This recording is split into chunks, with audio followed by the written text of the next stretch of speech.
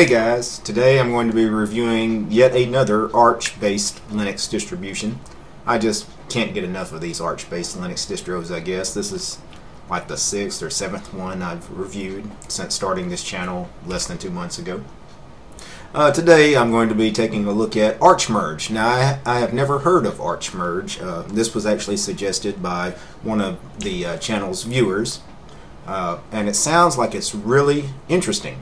ArchMerge comes with three different desktops, the XFCE desktop, the OpenBox window manager, and the i3 window manager. So that's pretty cool that you get all three. And that's usually what I do on my machines anyway. Usually if I install a distro that comes with a proper desktop environment, say GNOME, KDE, Unity, whatever, XFCE. I always end up installing the OpenBox window manager anyway because I like it. It's a nice minimal window manager. That's what I live in. And I usually also install a tiling window manager of some kind. Uh, usually Xmonad is what I go with.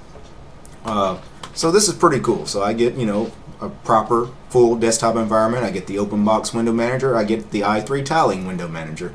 So I'm pretty excited about trying this out. Alright, so I'm going to be installing ArchMerge inside VirtualBox. So we have the option here in the boot menu, boot ArchMerge Linux, boot existing OS, run memtest, hardware information, reboot, power off. I'm going to boot ArchMerge Linux. This should boot us directly into a live environment. And I'm assuming that from the live environment we'll find a, uh, the installer and we're booting into a, a live environment. This looks like possibly the XFCE desktop. And the installer launches immediately, so no need to search through any menus trying to find the installer. So it has already chosen English United States for language. I'm going to click Next. This is the Calamares installer, by the way. Very familiar installer. I've seen this in a lot of Arch-based Linux distros. Time zone, it has chosen America, Chicago. That's correct. Keyboard, English US. That is correct. I can test that out in this test field. The keyboard is working as expected. Partitioning, I'm going to erase the disk and give ArchMerge the entire 15 gigs hard drive of this virtual machine. For those of you that need to partition, you can choose manual partitioning to set up your partitions. You'll need to do that if you want to set up, say, a separate home partition, or for you guys that are dual booting, say, alongside Windows. Alright, we need to create our user. I'm going to call my username ArchMerge. We need to create a password for that user. We have the option of logging in automatically without being asked for a password. I never like ticking that on. I want to be asked for a password. We have the option of using the same password for our user we just created, also for the administrator account. I'm going to tick that on. Alright, and then we have the summary of everything we just went through. Location's correct, keyboard's correct, the partition scheme is correct. Yeah, I'm going to click next. And the install starts. It's formatting the drive, writing to the disk, and this installer should run probably about 5 to 10 minutes. I'm going to pause the video. And the installer has completed. Now we need to tick this box here that says restart now. Uh, I've always complained about this in the Calamares installer. Anytime you install an operating system you always have to reboot your machine so it doesn't make sense to have this ticked off by default. It should just be ticked on automatically you know and then you click done the machine will reboot I'll be right back alright so I rebooted the machine and now let's check out our freshly installed ArchMerge. Let's see how long it takes to boot up.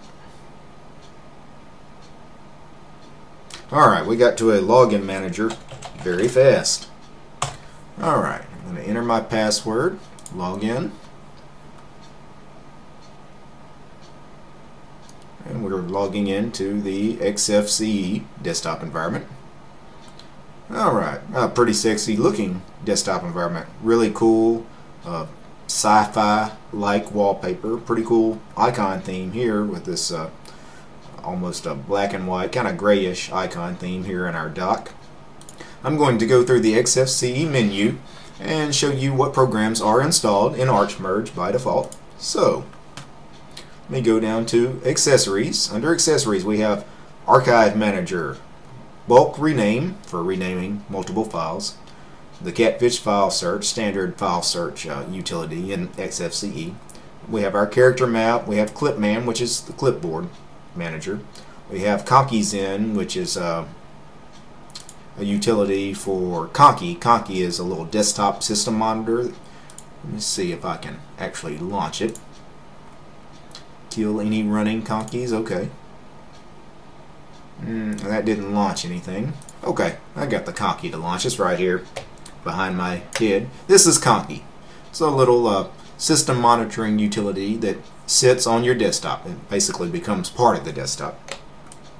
Alright, continuing through the menu here. Under accessories, we have our disk utility, we have a font manager, a font viewer, we have calculator, we have our HP device manager for your printers, uh, the Light DM greeter settings. The Light DM, uh, Light DM is our login manager.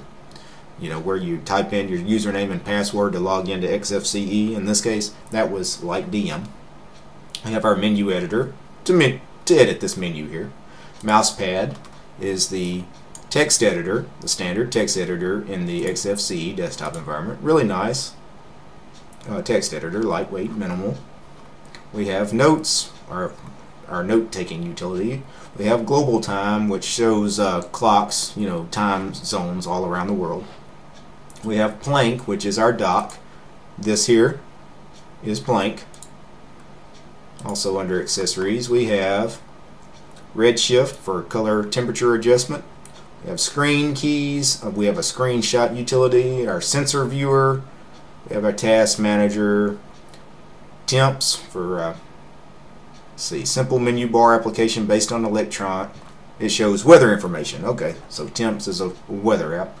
We have the Thunar file manager. This is the standard file manager in XFCE. Really nice lightweight file manager. Uh, let's see, what else do we have under accessories? We have a USB image writer for making bootable USB sticks. Uh, a USB stick formatter. We have Variety, which is a wallpaper changer. Uh, I guess it sets your wallpaper to, uh, you know, change, you know, at a certain time. XF Burn, which is XFCE's disk burning utility. Pretty nice disk burning utility. Uh, under development, we have Geany, which is our uh, it's another text editor, but it's really a IDE. You know, it's really for coders. Let's see, under development we also have our icon browser, we have Meld, we have a lot of Qt stuff. So for those that are, you know, program developers, you got a lot of the uh, Qt toolkit stuff there.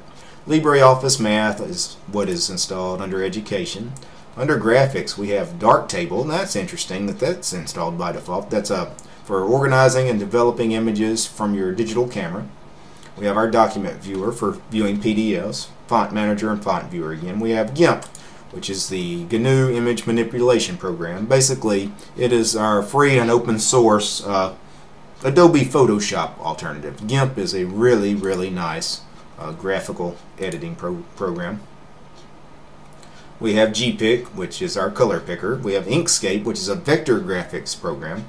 Uh, not not a vector. Yeah, it is a scalable vector graphics program. Uh, where GIMP is for raster uh, images. We have LibreOffice Draw again. We have Nomacs, which is an image viewer. We have Peek, which records short animated GIF images. We have the Ristretto image viewer, Shotwell photo manager, and Simple Scan. And the wallpaper just changed on its own, so I guess it's already using that wallpaper utility we discussed a second ago. So I guess, you know, every few minutes it cycles through whatever wallpapers are installed. Under Internet, we have uh, the Avahi server, we have Chromium as our default browser, FileZilla, which is a FTP client, that's File Transfer Protocol. Uh, that's for uploading files to a remote server, so you would do that for example, uh, uploading to a web server, you know, if you had websites. Uh, Firefox is also installed, so we have both Chromium and Firefox on this side. So that's interesting that they include include both browsers. You think they would pick one and you know go with that. You know go with chromium for example and say i really like firefox. I don't i want to use firefox rather than chromium. You know just let the user install firefox uninstall chromium themselves instead of taking up you know a lot of space on the iso we have hexchat our chat program transmission bittorrent client. That's the standard bittorrent client in the gnome desktop. We have vivaldi which is another web browser. We have three different web browsers on this iso mm, I, I really think that they're just taking up just unneeded space there. We have GUVC view, which is a webcam viewer. You see this rectangle my head is in? This is GUVC view running on my main machine. We have Lollipop, which is for play and organizing your music collection. I've never actually looked at Lollipop before. Let's see what Lollipop is all about. Hmm. Looks like a standard audio player. Under multimedia, we also have some pulse audio stuff. We have simple screen recorder for recording your desktop. For example, right now I'm recording my desktop with simple screen recorder on my main machine. That's how I'm making this video. VLC is our uh, video player. You can also play audio in VLC. VLC is by far the best multimedia player available on Linux. And XFBurn appears again in the multimedia. Alright, under the Office category, we have our Dictionary, Document Viewer, Evolution Email, and then we have the entire LibreOffice suite. Under Settings, we have About Me, Accessibility, Add Remove Software, Adobe Flash Player, Flash, hate it. When will it die? We have Appearance, Bluetooth, Desktop, Display. We have our File Manager again. That's the Thunar File Manager firewall config, keyboard, you know, your standard system settings stuff here. Under uh, system, we have some of the same stuff we saw in settings, like add remove software. We have the Arch Merge hello. I guess this is a little greeter to welcome you to the Arch Merge distro. That's pretty cool that that's there. We have cool retro term. Yeah, let's check that out. I'm assuming it's a terminal emulator. Yeah, it's a really old school looking terminal emulator. That's pretty cool. Looks like you know like a old uh, Macintosh from back in the day or old Commodore. You know, for those of you that grew up in the 80s and remember those those computers back then, monochrome display. All right, we have our disk usage analyzer, gparted, grsync, uh, manage printing, print settings, sensor viewer, software updater, our task manager. Let's check out the task manager. Now this is the XFCE desktop environment. So this is a full desktop environment running here on our Arch Merge. I gave this machine two cores of my six core CPU to use and right now it is idling I don't know somewhere between 3% and 10% on CPU so pretty low CPU usage uh, memory it's using 11% of just under 6 gigs of memory that I gave it. So not bad memory usage either. XFC XFCE is designed for uh, being a lightweight, minimal desktop environment. Great for older computers. Also under system we have the URXVT terminal. It's a old school, lightweight, minimal term terminal. UX term. Another lightweight, minimal terminal. We have the XFCE terminal. We have Xterm. We also had Termite, so we've got like five different terminal emulators installed on Arch Merge. Uh, Termite is probably the one I just opened is, is probably the uh, the best one to go with. Termite's a really nice terminal emulator. Alright, I'm going to right click on the desktop and I'm going to choose desktop settings. Let's see what kind of wallpapers uh, Arch Merge is including by default. You notice the wallpapers keep changing. Um, I've got some pretty cool photos here included by default. Some pretty nice stuff here. Uh, I'm not sure I really like that one. Uh, that one's not bad. It kind of fits with the black and white theme that, that they're wanting to go with here. That's pretty cool. Now uh, I'm going to log out of the XFC desktop environment because According to their webpage, we also had OpenBox and i3 included on the ISO. So I'm going to load up OpenBox and see what that looks like. So I'm back at the Login Manager and I'm going to click on the top right and I'm going to choose the OpenBox session this time. And it looks like by default we have a panel at the top. This probably is the Tent 2 panel. We still have the plank dock here in the Open Box session. But of course we have our traditional Open Box right click menu here with all of the same programs of course that we saw in XFCE so pretty cool uh, let me just open something here to show you how the uh, Tint2 panel at the top here looks so oh this is our desktops here so this icon here represents our cool retro term here and this square here that is just a little lighter than these this is our first desktop. Here is our second desktop. Here is our third desktop. Here is our fourth desktop. Back to our first desktop. Cool retro term here. Let me close that out. So, you know, your standard open box session with the Tint2 panel. Love it. I don't know much about i3. I play around a lot with uh, tiling window managers, but I've never used i3. I'm just going to very brief, briefly take a look at the i3 desktop here. Alright, and it looks like it automatically launches our file manager and Vivaldi, the web browser, when it loads. And because I never played around with i3, I don't know uh, like some of the default key bindings, but most tiling window managers, either Alt plus Enter or Super Key plus Enter gets us a terminal. In this case, they have it, the key binding set to uh, the Super Key plus Enter gets us to a terminal. Uh, control W, I think, will quit. Now, how about Alt W? No, Alt W is keyed to Chromium. Oh well, I know the command line way of getting out of here. Exit. Alright, let's see. Mod Shift E exits i3. Alright, and I'll log back into the XFCE session. Alright, so what is my final verdict on Arch Merge? Uh, I love it. Uh, it is your standard Arch Linux based distri distribution, so rolling release, fully compatible with Arch Linux. Comes with the very easy to use Calamares installer that most Arch based Linux distros out there are using these days. It's just super user friendly, uh, very similar to like Ubuntu's Ubiquity installer. You know, you click OK three or four times and you're done, you know, after about 10 minutes.